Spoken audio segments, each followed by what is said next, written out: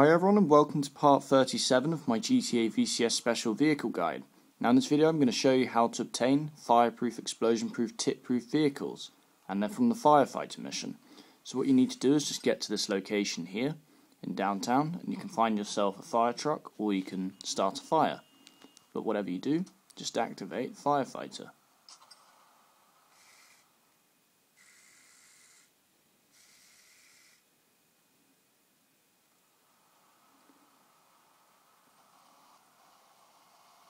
And all you have to do is just um, complete the level basically. It doesn't matter what level you're on.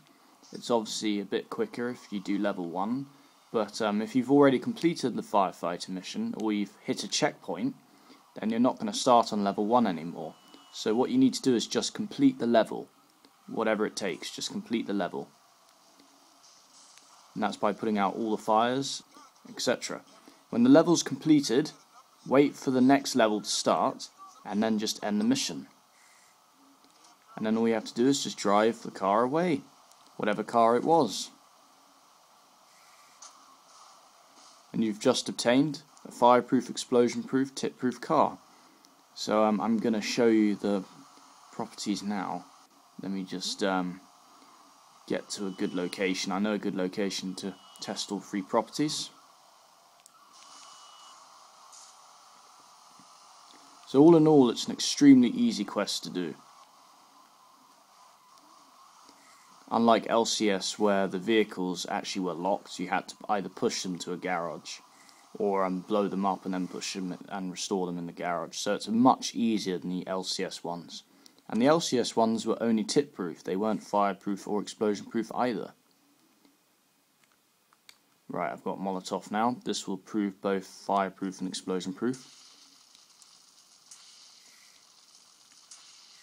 Because they act more like a grenade as well as a flamethrower.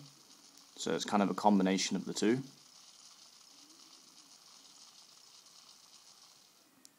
Now I'll show you it's tip proof.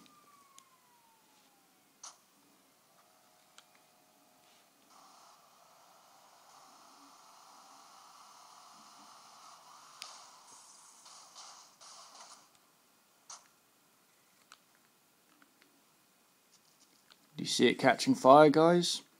I sure don't. That is a tip-proof vehicle at your disposal.